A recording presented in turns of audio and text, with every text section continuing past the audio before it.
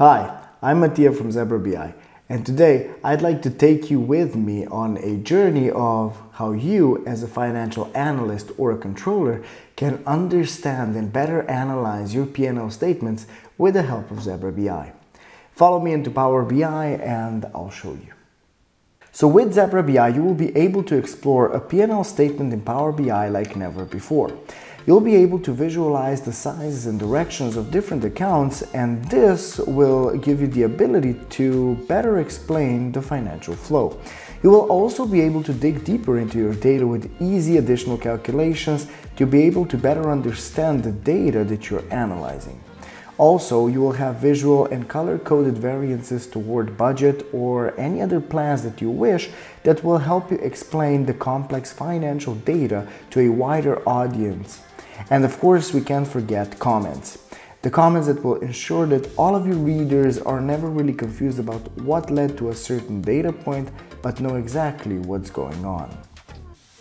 By the way, we've already delved quite deep into the P&L statement in a webinar that we did about the visualization and how you should prepare your data in Power BI for that to be the most effective.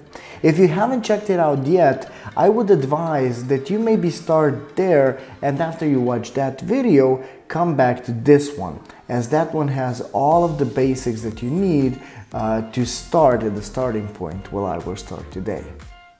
But still before we dive in into the analysis, let's just recap a couple of points. So, a crucial part of the foundation is understanding how the model should be built. So we opt for a star schema where we have one fact table containing our financials and many different dimension tables connected to our fact table with IDs. Of these, the accounts table is I guess the most significant for us as it structures our accounts to ensure the right order when visualizing our financials. The second part involves understanding why you as a controller or a financial analyst should even include visualizations in your P&L analysis. So visualizing a P&L statement is actually pivotal in enhancing the audience's understanding of the financial flow that it aims to convey. In simpler terms, we visualize this data to make it more comprehensible to non-finance individuals and of course help us as analysts spot all the biggest dips and raises in the data. And the easiest way to achieve a visual representation of PNL is with a structured or vertical visualization made by Zebra BI tables. So admittedly, this part that we're going into now is not new, but visualizing your PNL statement is so effective that it actually warrants a second mention. By first inserting our accounts and actual measures into our visualization, uh, we start the visualization process. And of course, just like we mentioned before, we started with a vertical waterfall chart.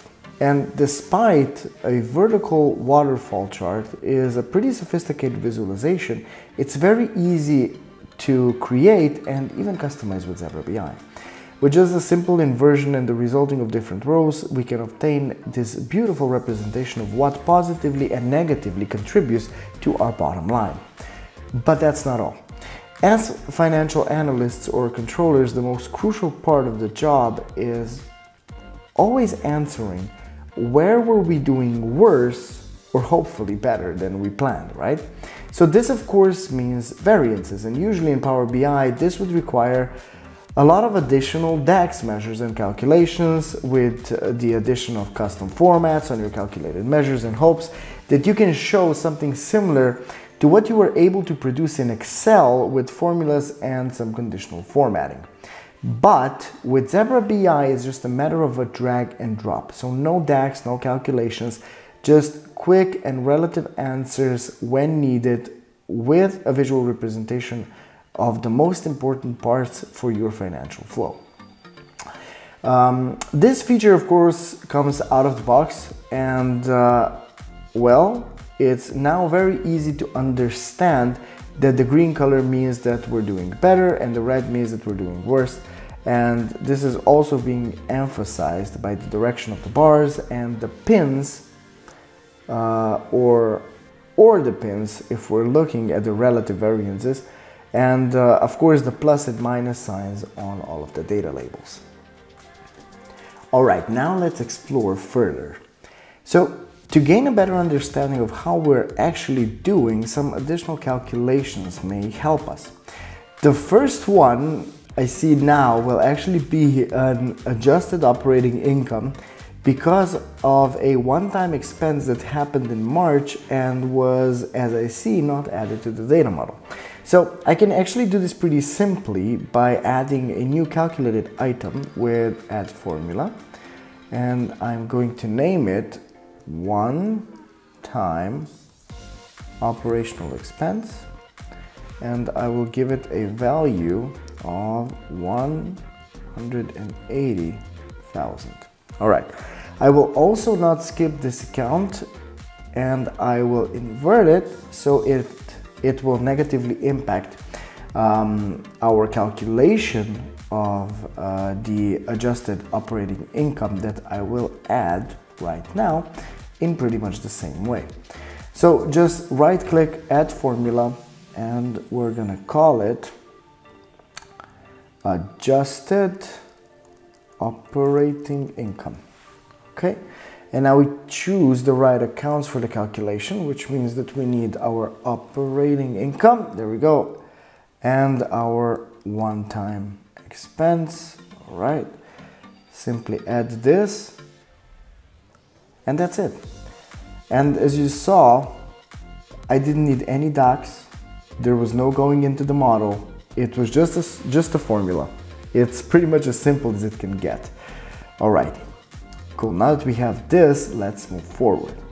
So, to gain a better understanding, we usually like to calculate or show our results as part of our revenues. Think of, let's say, gross profit margin to understand the percentage of revenue that exceeds the costs of goods sold, uh, indicating the efficiency of production and our pricing strategies. Then maybe we follow this up with operating profit margin to understand our operational efficiency and also our expense ratios um, to really understand the proportion of revenues that are consumed by operating expenses such as salaries, rent, utilities, marketing, right? And in the end, our return on sales to really gain some insight into our overall profitability. All right. And while we were talking, all of the ratios I've mentioned have already been calculated and added directly to our visualization without the need of any formulas. Even for the adjusted operating income that we've calculated a little bit before. So what you've seen in action is a new feature called quick column calculations. And while uh, visual calculations aren't anything new in Zebra BI, they have recently been introduced into native visuals. However, I have to mention that what sets Zebra BI apart from the native visuals is the commitment to simplicity and ease of use.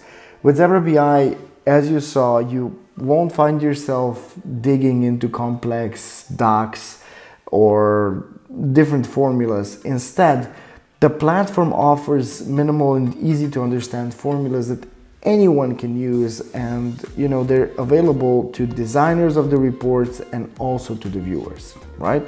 So this will really come in handy when you get a question about any of these ratios during your next board meeting being able to produce them on the spot and with such ease.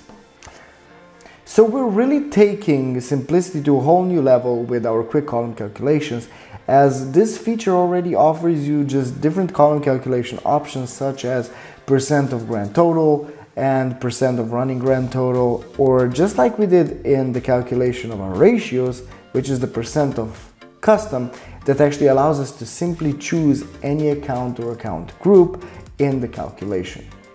So let me just quickly add the calculation again now that you're paying attention to it so you guys can follow along. Um, so we want to calculate the percentage of each account relative to the total revenues. So we have to go here on this plus sign above our categories and select the percent of dot dot dot option. And now uh, we have to choose revenues, there we go, as our base. All right, perfect. And just like that, Zebra BI calculated the percentage for each category relative to total revenues. This is now giving us valuable insight in a single action for many of our different KPIs. So the important thing here is that we didn't have to go into our data model, we didn't have to add any new measures, or we didn't even have to export our data into Excel and do the calculations there. So everything was done in Power BI as easy as possible. And also don't forget that we can also visualize these calculations and gain actually all of the benefits of the calculations and then the visualizations as well, right? So we can easily understand the relationships between different accounts and our revenues a lot better. Alright, so now that we understand what's going on, it's time to give all of this knowledge to our readers as well. And the best way that we can do this is, of course, including comments that will explain the why behind the numbers. This will leave us more time and, of course, give us better information to focus on the problematic areas. So the important thing for any comment is that it has to be linked to the data point that it's trying to explain. So at this time, it would be important to mention that in the case that we have here, we have a hierarchical PNL. We would also need our comments to be hierarchical as it is perfectly logical that we would sometimes like to explain in more detail an account on the lowest level and sometimes we'd like to explain something that happened in the whole account group. So now, why do we even need hierarchical statements? Right?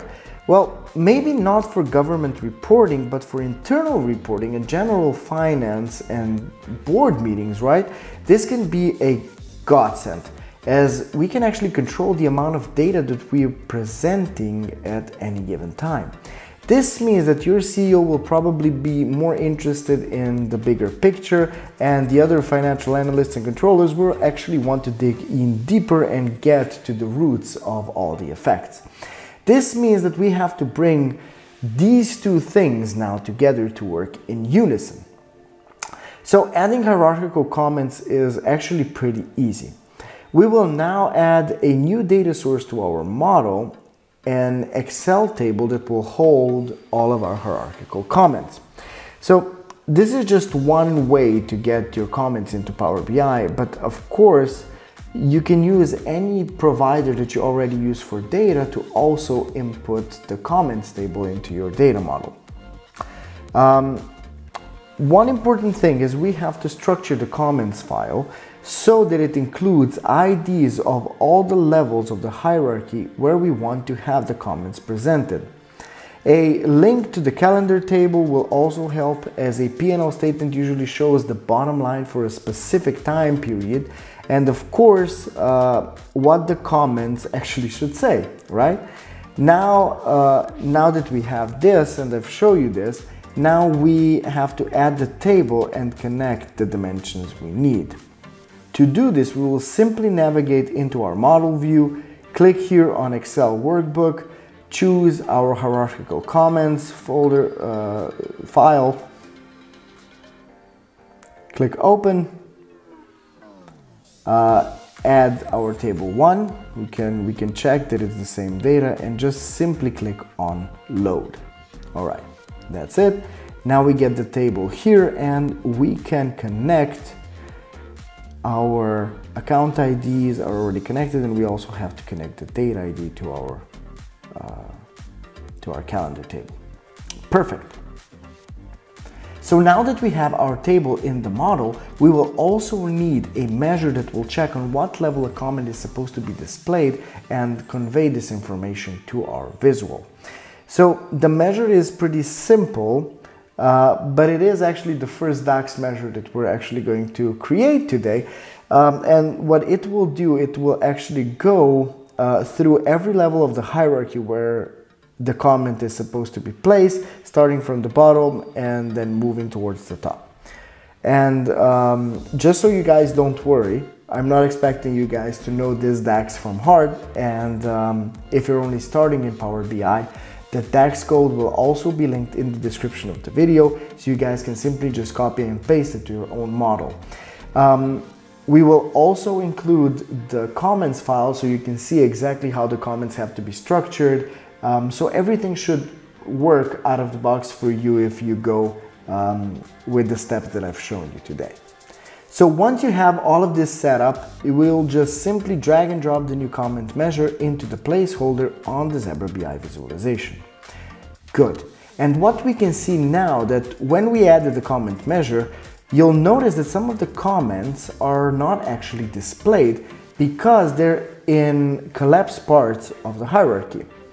So these are marked with just small little comment marker dots as you can see here and this indicates to us that the comment is hidden inside of the hierarchy and prompts us to, ex uh, to extend it for further insights.